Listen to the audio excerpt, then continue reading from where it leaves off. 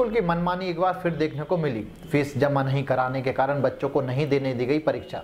शहर के एक निजी स्कूल के नन्हे मुन्ने बच्चे आज कलेक्टर कार्यालय में पहुँचे। जहाँ शिकायत की कि इन्हें परीक्षाएँ नहीं देने दी गई। बच्चों का कहना है कि एक मास की फ़ीस पेंडिंग है और वह उनके पिता फ़सल आने पर जमा करा देंगे, लेकिन इसके बाद भी उन्हें परीक्षा में नहीं बैठने दिया गया। उनके साथ आए युवक का कहना है कि उसके दो बच्चे भी इस स्कूल में पढ़ते हैं। कई बार शिक्षकों के कहने के बाद भी उन्हें परीक्षाएँ नहीं दी गई। वहीं उक्त युवक का कहना है कि उसने एक चेक भी लगाया है, लेकिन बच्चों को फिर भी परीक्षा नहीं देने दी गई। वहीं छात्रों के पिता ने कहा कि उसे बीस दिन का समय मिल जाता तो वह फ़सल बेचकर फ़ीस जमा करा देता। लेकिन स्कूल संचालक नहीं माने।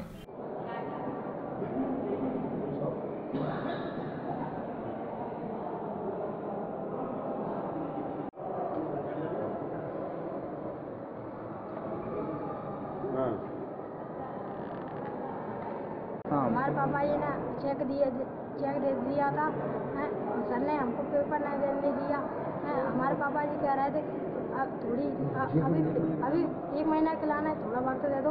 अभी हम किसान हैं अभी फ़सल नहीं आई है हैं, तो उन्होंने ये कह दिया वही है ना। अभी पेपर नहीं देने दिया हैं, और एक एक बजे से हमारा पेपर चालू था और चार बजे तक हैं, तो पेपर नहीं देने दिया उन्होंने और इसलिए हमको भगा दिया स्कूल में से।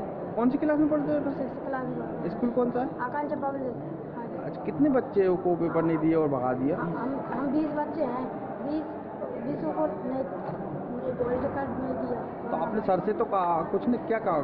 सर ने फ़ोन ही नहीं उठाया तो हमने फ़ोन लगाया तो डैडी ने फ़ोन एक लगाया। आप जब स्कूल गए थे तो पेपर देने आपने सर से बात की थी? हाँ की थी। क्या बोले थे सर सर जी कह रहे थे कहीं ना कहीं आ- अभी हमारी पूरी फ़ीस जमा करो जब जब बैठने देंगे अच्छा तो कौन सा पेपर था? आज काय का था? मैथ का था।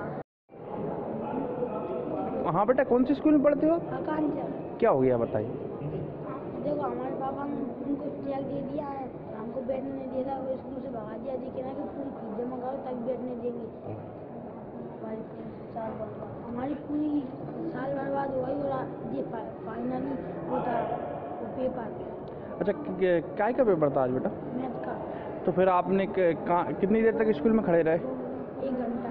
तो कुछ अच्छा बोले तो आपने बोला था सर से? हाँ बोला था। कि हमें पीस पेपर तो दे लेने दो ऐसा कुछ? हाँ बोला था कि हमको पेपर देने वो कह रहा है पूरी फ़ीस जमा करो तभी पेपर देने अच्छा क्या नाम है बेटा?